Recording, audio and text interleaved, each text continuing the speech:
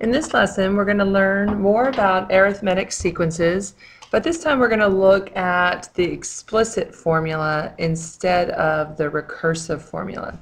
One thing I want you to make note of on the side is that to use or write a rule using the explicit formula, we simply have to know the first term of the sequence and the common difference. If we know just the first term and just the common difference, we can actually write a rule.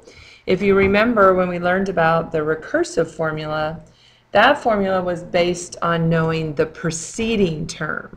So in that one, you wouldn't even necessarily need to know the first term. You would just need to know any consecutive terms in the sequence, and then you could write a rule. So here is the recursive formula. A sub n equals a sub 1 plus n minus 1 times d. Now, I'm going to go ahead and show you too really this D, we're probably going to be more comfortable with it in front of the parentheses, but there's really no difference. It's the same thing. It's still telling us to multiply that D times the n minus 1.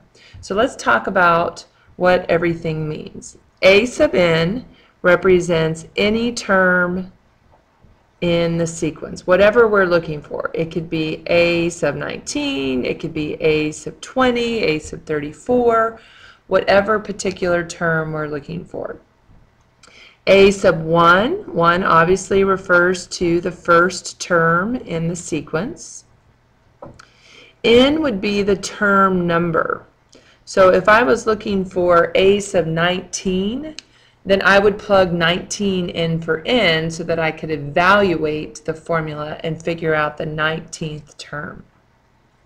And then D stands for the common difference because that's the other big thing that we need to know. Okay, so let's determine first of all if this sequence is arithmetic. Remember we need to have an adding and subtracting pattern and you'll notice that every time here we're adding 2. So yes, this is arithmetic. And so we're going to write a rule using the explicit formula. And you're going to see how easy, easy, easy this is. So we would say a sub n equals, a sub 1 is our first term, so notice our first term is 3, plus the common difference, d, was 2, so 2 times n minus 1. And that's it. That's the explicit formula.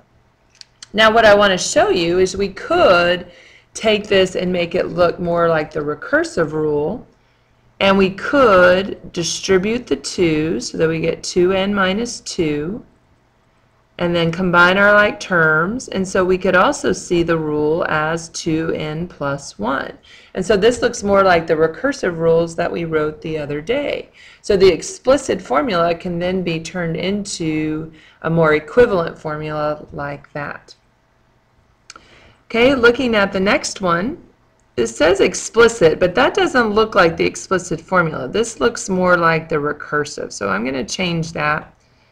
Error on my part. And it says find the first five terms and the term named in the problem. Okay, so um, if I know I want to find my first term, so that I would put 1 in for n. So 3 times 1 plus 16 is 19. So my first term is 19. My second term, 3 times 2 is 6, plus 16 is 22. Are you starting to see a pattern? 3 times 3 plus 16 would be 25. And remember, we talked about that our slope, or that coefficient on the end, that is our common difference. So we're adding 3 every time. So let's see, we've got one, two, three, four, the first five terms. And now if I want to find a sub 24, again, all we have to do is plug 24 in for n and calculate it. And that would end up being 88. So the 24th term is 88. Okay, last problem to look at together. It says, given the first term and the common difference, find the first five terms and the explicit formula.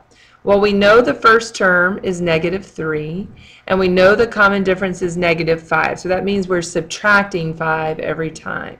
So negative 3 minus 5 is negative 8. Just showing you that common difference. And then we would get negative 13, and then negative 18, and then negative 23. Really easy, right? When we write our explicit formula, again, super easy. A sub n equals our first term, negative 3.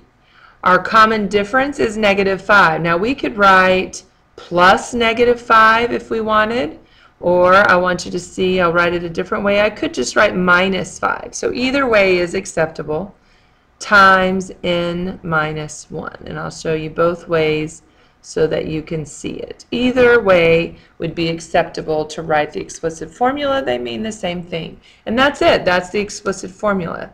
I wouldn't want you to change it to any other form at this point. Take a minute, write down any questions you might have in this column. Write down some main ideas. What are some key points that we need to look at?